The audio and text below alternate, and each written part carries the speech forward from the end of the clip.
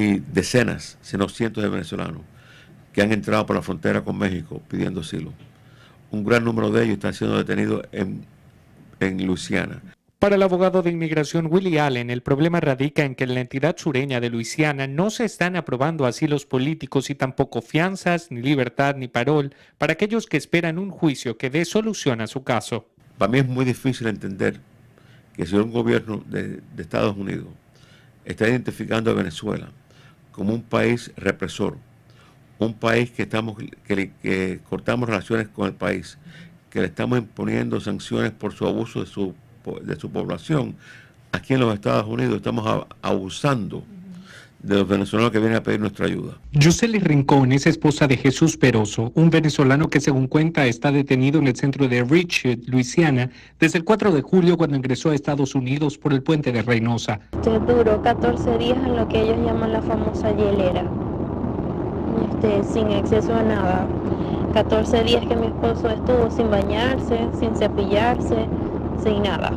Una teoría respaldada por quienes han tenido que representar a otros reclusos. Están detenidos en cárceles privadas, con pocos derechos, poco acceso a abogados, acceso a biblioteca, acceso a información. Eh, en algunas cárceles la comida por la mañana a las tres y media, el almuerzo a las diez y media de la mañana y la cena a las tres y media de la tarde. ¿Qué es lo que pasa? Que la gran parte del tiempo no tienen comida.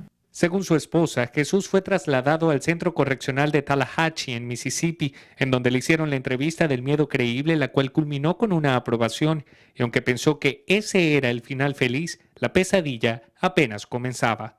Allí le dijeron que en ese centro no le podían dar el permiso humanitario, que no era un centro autorizado para eso, sino que tenía que mm, tenían que esperar ser trasladado a Luisiana o a Georgia para que ahí gestionaran su, su parol. Pues. Jesús fue regresado a Luisiana, donde el parol le fue negado y aún sigue recluido sin explicación del por qué las autoridades tomaron la decisión. Y aunque el no tener Estados Unidos relaciones diplomáticas ni vuelos directos hacia Venezuela deja el panorama de la deportación con más dudas que respuestas, las denuncias radican hoy por hoy en los juicios, los que han tildado de irregulares. Está el preso en una cárcel local, frente a una cámara, el juez está en otro lugar mirando por, una, por otra cámara y a veces el fiscal está en otra cámara. Así que al final del día, cuando tiene un juicio de ese tipo, ¿cómo pueden de verdad jugar la veracidad de tu testimonio cuando no te pueden ni ver en persona? Al ser consultados por el equipo de TV Venezuela, la Policía de Inmigración de Estados Unidos, mejor conocida como el ICE, nos informó en una respuesta automática de correo electrónico que en los próximos días podrían emitir algún tipo de declaración oficial al respecto. Desde el sur de Florida reporta Emmanuel Villalobos.